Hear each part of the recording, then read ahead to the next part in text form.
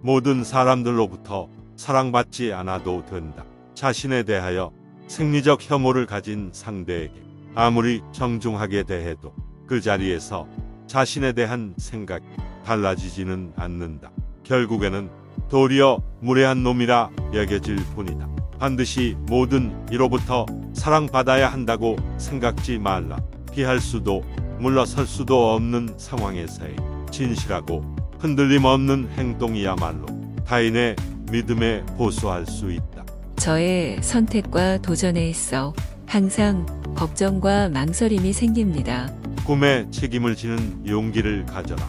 잘못에는 책임을 지르고 하면서 어째서 꿈에는 책임을 지려고 하지 않는가? 다른 누구의 것도 아닌 자신의 꿈이지 않는가? 내 꿈은 이것이하며 드높여야 하지 않는가? 그만큼 유약하기 때문인가? 아니면 용기가 없어서인가? 애초 자신의 꿈에 책임을 질 생각이 없다면 꿈은 영원히 이루어지지 않을 것이다.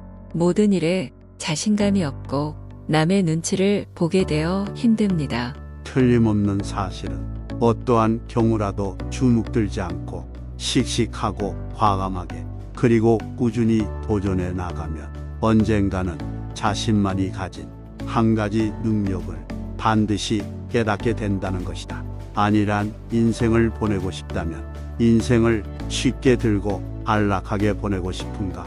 그렇다면 무리 짓지 않고서는 한시도 견디지 못하는 사람들 속에 섞여 있으면 된다. 언제나 군중과 함께 있으면서 끝내 자신이라는 존재를 잊고 살아가면 된다. 주변에 저를 얕잡아 보는 사람이 많아 괴롭습니다. 자신에 대한 평판 따위는 신경 쓰지 마라. 누구든 자신에 대한 타인의 생각을 알고 싶어 한다. 자신을 좋게 떠올려 주기를 바라고 조금은 훌륭하다 생각해 주기를 바라고 중요한 인간의 부류에 포함되기를 바란다. 그러나 자신에 대한 평판에만 지나치게 신경 써서 남들이 하는 이야기에 귀를 쫑긋 세우는 것은 좋지 않다. 타인이 나를 어떻게 생각하고 있는가. 그 같은 일에 지나치게 연연하지 마라. 그렇지 않으면 실은 미움을 사고 있음에도 불구하고 부장이다, 사장이다, 선생이다. 불리는 것에 일종의 쾌감과 안심을 맛보는 인간으로 전락하게 될지 모른다. 자신이 얼마나 좋은 인품인지 아무리 떠벌려도 사람들은 신용하지 않는다. 오히려 대중은 자신이 이룬 선행에 대해서 침묵하는 사람을 신용하고 함께 하려 한다.